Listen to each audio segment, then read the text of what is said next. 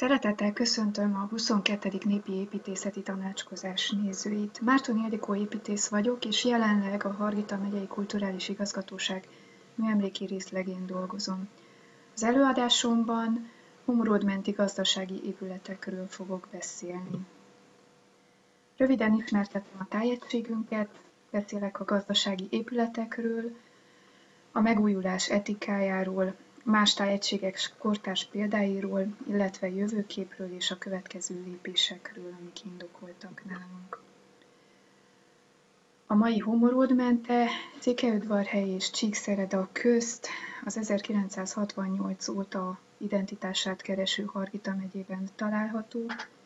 A egykor a Székely és Szász vidéket összekötő erős kereskedelmi útvonal mentén fejlődött ki, a szászoktól építkezést tanultunk, a székelyek meszet és sót szállítottak szászvidékre. A ismertetőmben röviden kitérek a lakosságra is. Elnéptelenedő vidékről beszélünk, a, hol talán leghitelesebben megmaradt a népi építészeti örökség, a Szomrót Keményfalva és Abásfalva, és ezek, ezekből a falvakból a 70-es években vagy Székelyudvarhelyre, vagy Csíkszeredába költöztek nem feltétlenül önkéntesen a fiatalok. Így gyakorlatilag egy ott, ott felejtett állapotról beszélünk. Hagyományokat híven őrzik a helyiek, bármennyire, hogy csak a falunapok alkalmával találkoznak nagyobb létszámban.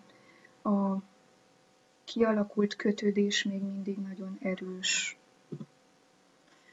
fejlődési dinamikáról általában három kategóriát szoktunk emlegetni. Van, van, mikor ténylegesen fejlődünk, van, mikor megtartunk egy állapotot, és van, mikor a, a hanyatlás tévútjára tévét egy vidék. Hát itt egyértelmű a két település esetén, Keményfalva és Abásfalva esetén, hogy a, a távolabbi fekvése révén, főutaktól távolabbi fekvése révén és a fiatalság városra költözése révén már csak építészeti csemegeként maradtak meg a házak, ami a kutatás szempontjából nagyon előnyös, az itt lakók szempontjából pedig nem túl reményteljes. Jelenlegi állapotában talán Humrult falva az, ahol az érintetlensége révén leghitelesebben megmaradt az a szász jellegű székelyépítkezés tömbszerűen, ami a vidékre egyaránt jellemző. Nyilván a szakma is bőszen érdeklődik az iránt, hogy mi található a helyszínen, és akár önerőből, akár különböző kapcsolódó programok révén próbál tenni azért, hogy legalább a dokumentum értéke megmaradjon a vidéknek. Kiemelkedő a 70-es évek felmérései, illetve műemléki fotózásai, ami Fekete Márta nevéhez kötődik, illetve szintén egy fontos pillanat volt, mikor a Hargita megyei tanács felkarolta a faluképvédelmi tanulmányokat. 2009 és 2013 közt nem csak Homorod mentén, hanem Hargita megye más tájegységein is rendkívül sok tanulmány készült el. Szinte civil kezdeményezésként maradt meg a humorodmenti értékvédelmi program is, mely a lakosság érdeklődését próbálta felkelteni az iránt, hogy milyen érték is maradt itt hátra, illetve együttes erővel számba venni, hogy mit is tehetünk önerőből a megmaradás érdekében. Szakmai konferenciák, helyi beszélgetések, kiállítások is történtek szintén a megyei tanács kezdeményezésével. Modern Székelyház program is indult, hogy egy új épületet hogyan tudnánk a kialakult faluszövetekbe beilleszteni, bár nem ért célt, felmerült a tanácsadó építész fogalma is, illetve ezek a próbálkozások különböző kiadványokban, internetes elérhetéseken még fellelhetők. A faluképvédelmi program talán módszertanában a legkiemelkedőbb mindközül, ugyanis 30 Hargita megyei építész fogott össze egy egységes módszertan alapján visszakövethetően, visszanézhetően, kielemezhetően kategorizálja azt az épített örökséget, ami még a népi építészetben Hargita megyében fellelhető.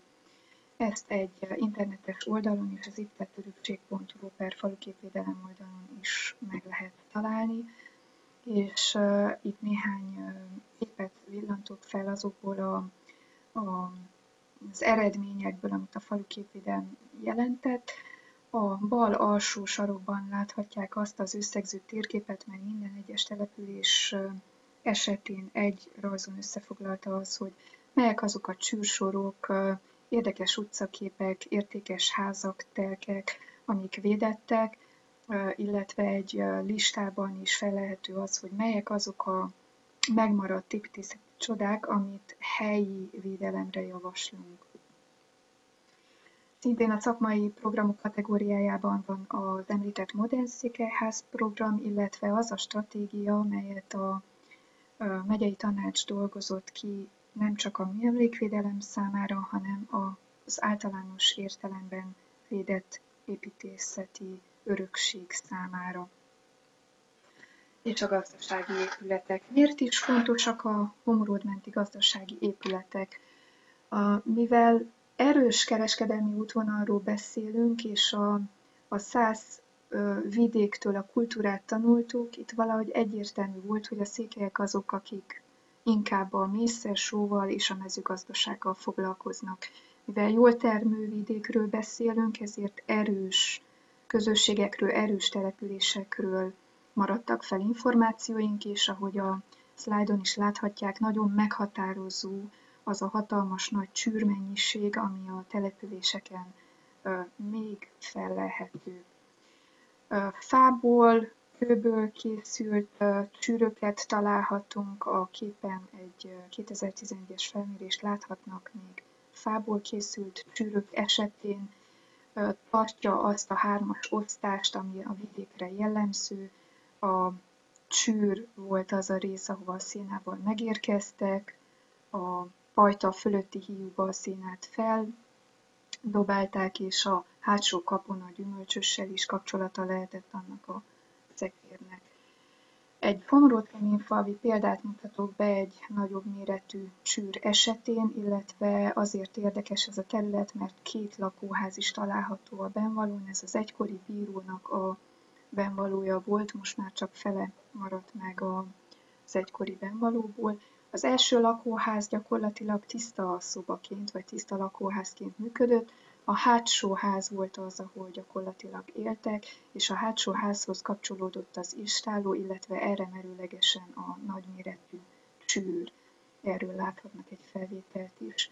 Ez a csűr kőből épült, ami jellemző morod mentére, 60 centis kőfalakat kell elképzelni, és forrómeszes vakolattal értékel gyakorlatilag a sziklaszilárdságot.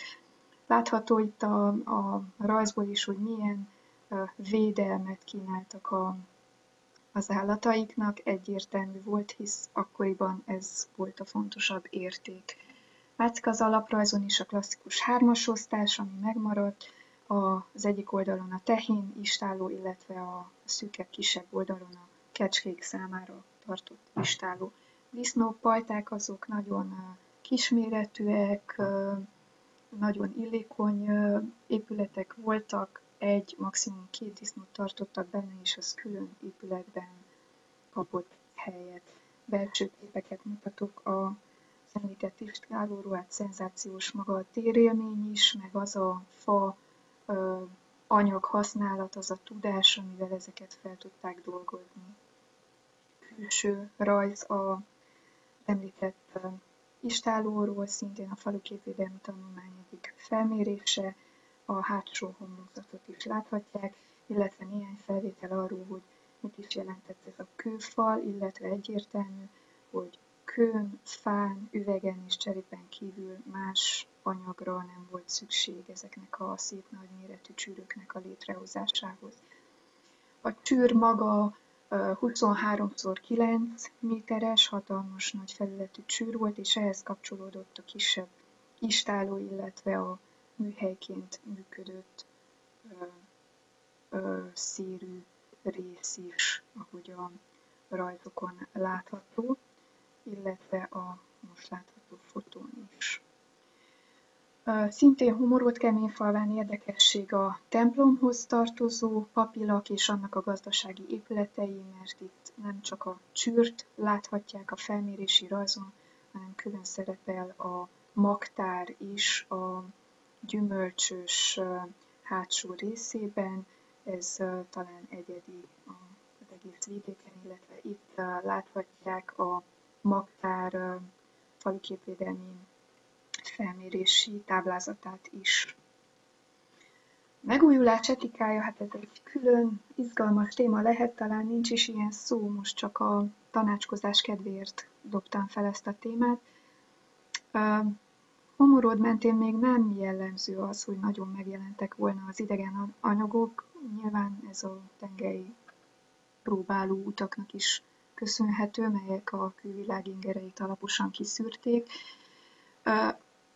Ezen a példán a hatalmasnak csűr, csűrnek csak a hátsó felén láthatjuk a teljesen új cserepet, ez a gyümölcsös felüli része, ami gyakorlatilag a faluképből nem látható, illetve a következő ábrán láthatják az udvar felüli részét, ahol a tulajdonos igyekezett megtartani a, az eredeti cserép mennyiséget, hát ez az, amennyi még adott volt. A hátsó felére már új cserép került sok kérdés felvet ez a történet, hogy mit is jelent tulajdonképpen az épületek védelme, újítani akarjuk őket, vagy megtartani. Nyilván két kisebb falu esetén, ahol összesen kevesebb, mint 300 házról beszélünk, megengedhető volna az a luxus, hogy megpróbáljuk megtartani. Ez természetesen, a, mint ahogy máshol is jellemző, a lakosság véleményével nem feltétlen van összhangban és még mindig nem sikerült olyan marketinget kidolgozni a létező építkezési anyagoknak, amit esetleg az új anyagok gyártói használnak, így úgy gondolom, hogy nagyon múlékony az, amit még Komorod mentén és különösen ebben a két rejtett faluban találunk. A jellemző Gyergyó vidékére, hogy nagyon erős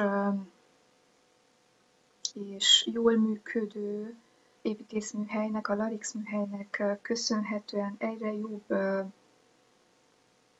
reményteljes példák vannak, akár csűr megújításról beszélünk, vagy akár egy kortárs csűr megfogalmazásáról beszélünk. Gyergyó vidéke és különösen a népi építészetről beszélve per pillanat fejlettebb, nagyobb, erősebb falvak voltak, amelyek meg tudták őrizni a gazdasági stabilitásukat. A felvillantott példa a Kölő Miklós építésznek és csapatának köszönhető, illetve hál' Istennek az ő irodáikból nagyon sok jó példa kerül ki. Hargita megyei építészek megfelelő alázattal viszonyulnak a népi építészeti örökséghez, így Bugos Ernő, Esztán Győző Tövisi Zsolt, Máté Zoltán kezei alól is nagyon dicséretes munkák kerülnek ki. És a jövőkép. A sűrűn látogatott Egri Műemlékes Nyári Egyetem gyakran ismétlődő mondata volt az, hogy egy jó építész úgy dolgozik egy műemlékkel, mintha ott sem járt volna.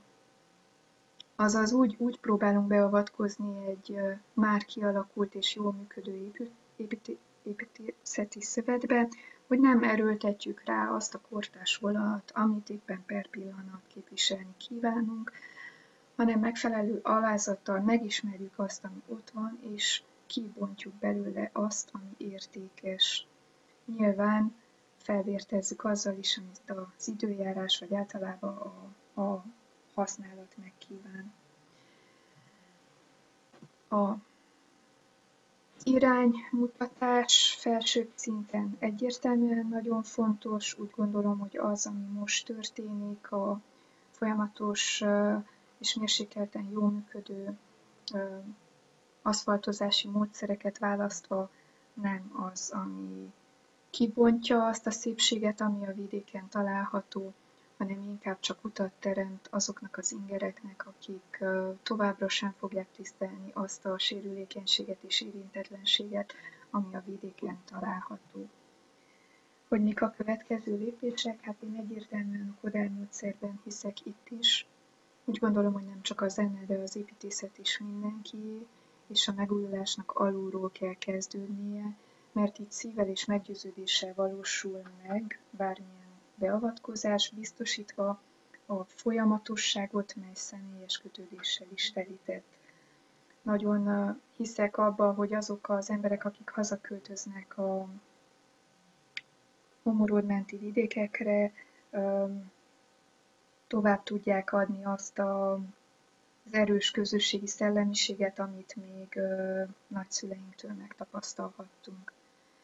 És nyilván ez a, a működés nem tud létrejönni a szakma nélkül, vagy a bármilyen fajta népszerűsítés nélkül, ugyanis a szakma az, aki el tudja mondani, hogy miért is érdek, érdekes ez a tájegység, miért is olyan izgalmas az a 60 centis mészkőfal, miért is annyira praktikus, hogy összesen négy anyagból sikerült azokat a hatalmas nagy csűröket felépíteni, fenntartani, használni zöggenőmentesen, olcsón, hozzáértéssel, és bízom benne, hogy ez a